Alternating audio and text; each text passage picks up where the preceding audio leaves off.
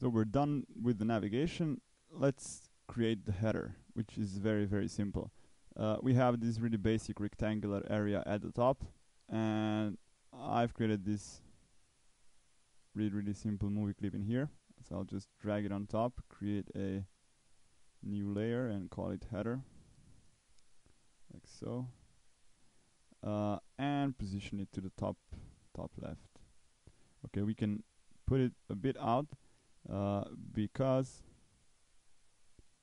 we don't want to see the left and the right border uh, on our website, only the bottom one actually. Uh, give it an instance name, obviously, a header, and we don't need to add this one dynamically. So we can have it on the stage at all times. We don't uh, need to add multiple instances of it.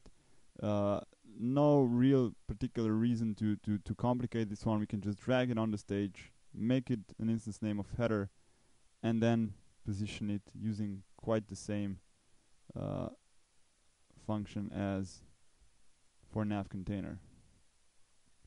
So header. And over here also header. And you can see it's it's done the same way only the instance name was uh, changed. And here we go. So we have it repositioning constantly uh, scaling right? Not repositioning this time uh, fr uh, from the left uh, edge of our player to the right one. Okay. And now that we're done with that which was really really simple if you want to add any text inside we can either double click and then just add a text right? Like so. Or you know if you'll have some more complex uh, dynamic content or anything like that if it's uh, loaded from an XML file you can again either prepare it and add a text and then just uh, load the data from an XML file or you can even complicate a bit more and make this as a parent container for everything that you're inputting. In any case, there's no need to uh, add it as a child uh, uh, through ActionScript, right? So you can just drag it up here and give it an instance name of header. Uh, let's do the logo now. So logo. And let's go to Illustrator, copy that, paste it. We can paste it as a bitmap. We don't need to scale this one or anything like that. So we really shouldn't have much of a problem when it comes to repositioning. Let's put it up here. Save it. And let's change this one to logo. And also logo so it's easier for us to access it. And also uh, let, let's say lossless for now you know if you'll have problems with performance later we'll just change it. Okay. So we have our logo at the top left. We have our header at the top. Everything is repositioning as it should be. We can add some shadow over here without using ActionScript because we've just dragged it to the stage. Just change its strength a bit because it's by default it's pretty much always way too high. Like so, and possibly even let's go to border. I don't know. Still seems a bit thick to me. Hmm. Run it, and here you go. So this is beginning to look like we set out to achieve. Uh, we have the header now, we have the logo at the left, we have the navigation at the bottom, and all we need to do now as far as layout and positioning goes uh, is to create the uh, this main section container that'll hold all of our uh, different contents.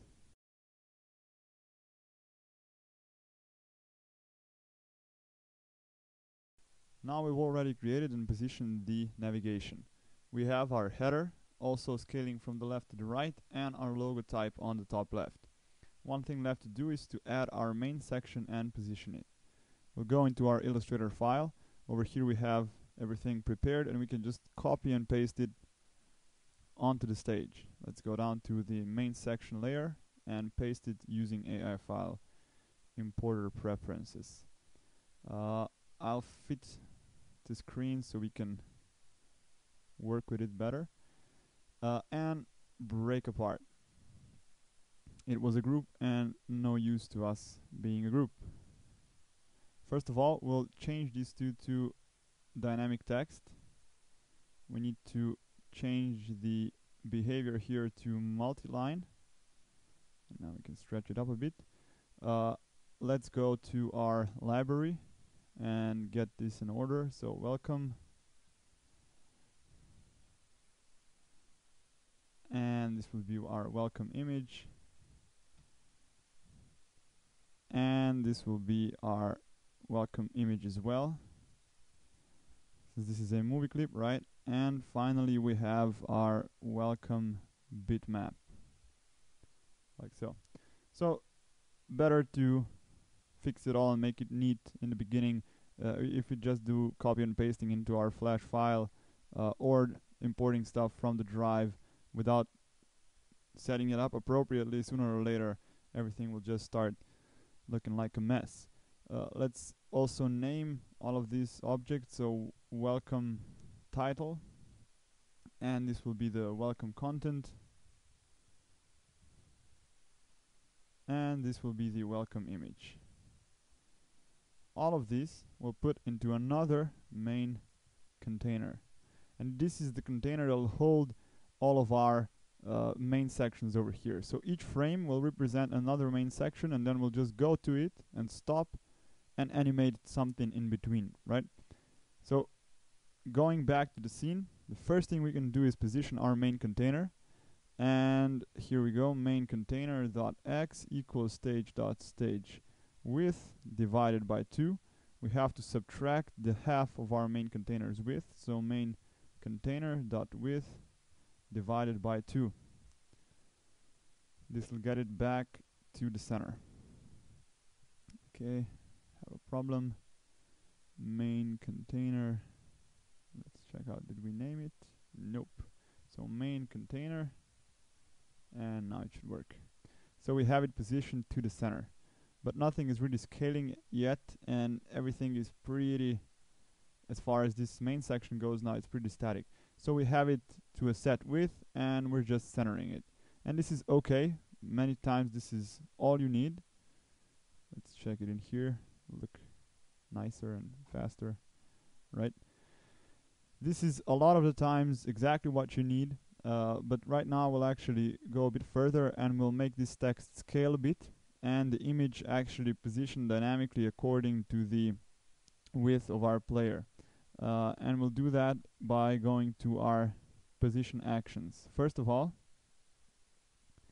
let's specify the repositioning of our image. So main container dot welcome image dot x equals and now we want to keep it over here not pin it exactly to the right so it's completely static to our right edge. And also not keep it exactly as is so we don't want to keep it uh, exactly in the order of what we have it and then just center it right? We want to scale our text on the left and reposition our image uh, appropriately according to the width of our player. And let's go straight to doing that because it's kind of hard to explain. Uh, so let's do that. Uh, welcome image.x stage.stage width minus, and this is the tricky part, stage.stage width divided by 980. 980 is our default width uh, of the player, of the movie, uh, and times 540 or 50. This is how much we want our image to be away from the right edge and by default when we have our minimum width we want it to be 540 or 550 pixels away from this right edge. Let's just check out why if we click double click opa, let's go back. And let's double click over here and command shift 4 to check out the how much it's spaced. Is about 530 right? But we gave it a bit of a additional space uh, for the margin. So we have a bit more a bit more space on the right. Okay so let's paste it down here and see what's happening now. And let's check it in the external player. Okay now you can see that the wider the wider the player gets the more space you have in between here. Okay so it's kind of in between pinning the image to the right and having everything centered I like this behavior better because it keeps the whole design in place better than either of the other two methods. The only thing to do now to fill this extra gap that's coming in here is to scale our text over here on the left. And to do that, let's just take main container dot welcome content. Think it's welcome content. Let's just check. Yep, welcome content. dot scale x equals stage dot stage width divided by 980. So when we start scaling it up, it's going to start scaling up. At the default size, it's 1, so it's exactly as much as we specified here to be. And the end result looks like that. So let's scale it up scale it down. Okay, so we are having this kind of a dynamic positioning, dynamic centering of these two items, all the while filling in these gaps so we don't have a huge white space in the middle if we have a large display, right? This should keep things quite in order. But if you start noticing any problems at larger resolutions, with text bleeding into our image, I mean, okay, because that's a possibility, all you need to do is to increase this number here a bit and it'll force itself to be a bit narrower. So if we check it out, right, it's kind of perfectly scaling and giving way to our image. Okay, so that's as far as the positioning goes. We've created all of our elements. We have the navigation, and let's have the what we've done by now up we have our navigation, we have our main section, we have our header and the logo type at the top left. So we need to start creating the functionality for our navigation. So if we mouse over, mouse out, and of course click to change the section in here. As soon as we get to our uh, section that has XML content, we'll also add uh, loading of XML and inputting that into our uh, text fields or and loading the images of course. Okay here it is and it's not that hard.